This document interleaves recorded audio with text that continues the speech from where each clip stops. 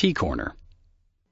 An example of where a T-wall can occur is in a house in which the owner wants an insulated wall between the main house and the garage. T-corners are created when a piece of EPS form is cut out of one block to create a space in which to perpendicularly insert another block. Reinforcement. Cutting an opening in a block has negative implications regarding the strength of the block, so special attention is required. For T-walls, six courses or higher, use a 2x6 inch strong back or 3 4 inch plywood with a 2x4 strong back at the middle of the T to brace the wall.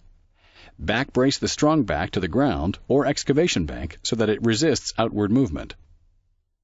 Intersections. On the entire height of the wall that forms the top of the T, all the courses have the EPS removed where the intersecting wall connects. The intersecting wall can then be set right inside the wall that forms the top of the T. From a practical view, this latter wall can be constructed last to make access to the job site easier. It is also easier to make the wall plumb using this method. In all cases, you should brace the inside and outside corners to keep the corners plumb. Also, when vibrating the concrete, stay at least one undisturbed web away from the T on either side.